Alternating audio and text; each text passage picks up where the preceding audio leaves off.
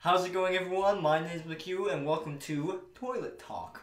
Today I'm going to be talking about.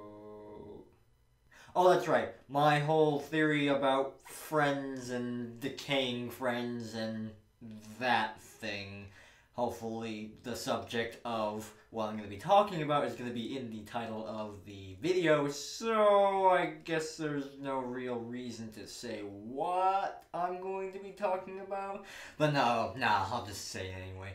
I'm going to be talking about my observation of decaying friends. Now, this has no means happened to me recently, just something I've noticed a trend between friends and their relationships, and some people in my life as well. Decaying friends, what is that? It's pretty much when your friend's dying and their skin's just peeling off, it's all gross.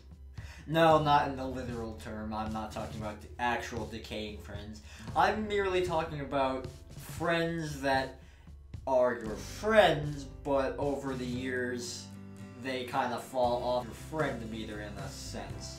I'm not talking about friends that have done something horrible in your life and that's the reason why you're not friends because they did something horrible. Now I'm talking about friends that are your friends, but through the passing of time, you aren't really friends anymore. That's not to say that you are friends, just it's not the same. It's mostly just time goes by and you don't see each other and just you kind of grow out of each other. And I've found that this happens a lot during the college phase. You get your friends in high school, your group, and then graduate, and everyone splits off into different colleges and different aspects of their life that they go into because that's adulthood. We go and become our own people as adults. We become, hopefully, a contributing member of society and not be a bum and or serial murder. Or the most common thing I see about decaying friends is that you might message them or you might come into contact with each other like on spring break or a holiday break and you two are both in the same town, your hometown maybe, or you just meet up together, whether it's like at college or just you meet you meet up together. I'm just rambling. So you meet up or you just talk to the person and the conversation usually goes, Hey, how's it going? Oh, it's so good to see you. It is. So how have you been? I'm doing pretty good. How about yourself? Doing great. Just just great. It's everything's great. Well, that's great. Cool. How are you liking your college? Oh, I love it. It's fantastic. How about yours?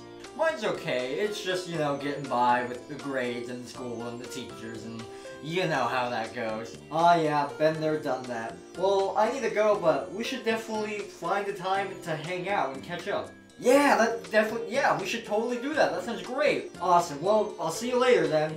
Key word. We should get together sometime. I can't tell you how many times I've heard this with my own friends or people in my grade or even other friends that I knew around my hometown that have just said this to me or I've heard them say to other people.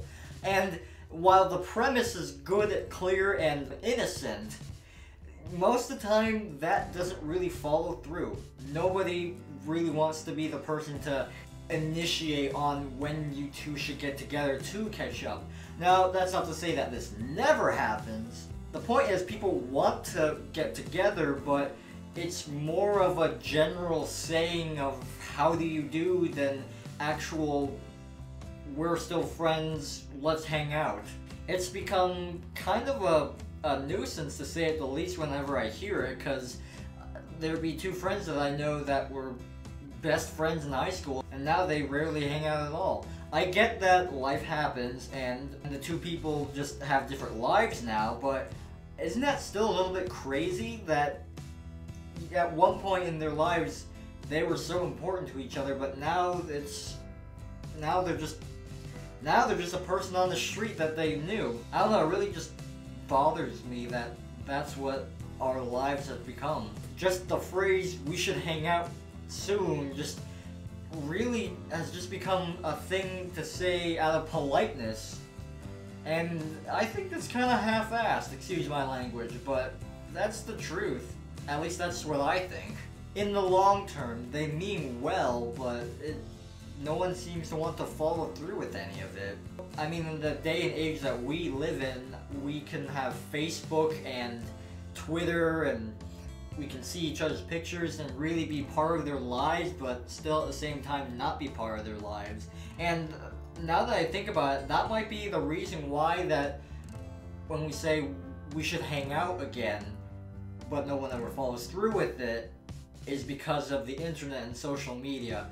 I mean, back in the day when people wanted to hang out that they haven't seen forever, they would actually call them up and not just look through their phone to find their number. They would memorize their number just so they can talk to them and just hang out. Versus social media where everyone can get a little slice or a little piece of everyone else's lives at the same time in real time as it happens. And it's like they're there experiencing that with them, but they don't feel the need to go out and make their own experiences with other people because they can just find it on the internet. Just a crazy generational thing, I suppose. It's just pretty nutty how that stuff works out. And that, ladies and gentlemen, is all I have to say on that matter. Kind of a weird, short mess of things, but I don't know, it's just something I've always thought about and just kind of an oddity at that. So if you have ever heard this or even said it yourself, have you actually followed through with hanging out with whoever you say to? I'm not sure why I turned into William Shatner. I'm not even using a good voice for him, but I keep pausing and I'm doing these things with my hands I don't know, so I'm just gonna stop that now.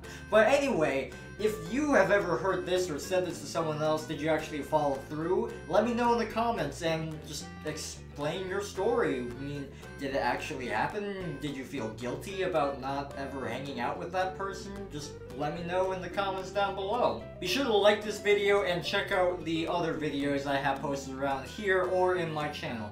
And if this is your first time at Toilet Talk, then be sure to hit the subscribe button just so you can get more weekly vlogs. I do these every Sunday. And hey, with the channel continuously growing, I'm sure I'll get more traffic through here eventually. I mean, I'm up to 50 subscribers. That's incredible. I'm halfway to my goal of 100 subscribers by the end of the year, so hopefully the people who are watching this who are already subscribed to me are gonna start seeing more people to this channel's family. Hopefully. So, that's all said and done, and that's my opinion on the matter. I'm McQ, and I'll see you in the next video. See you later.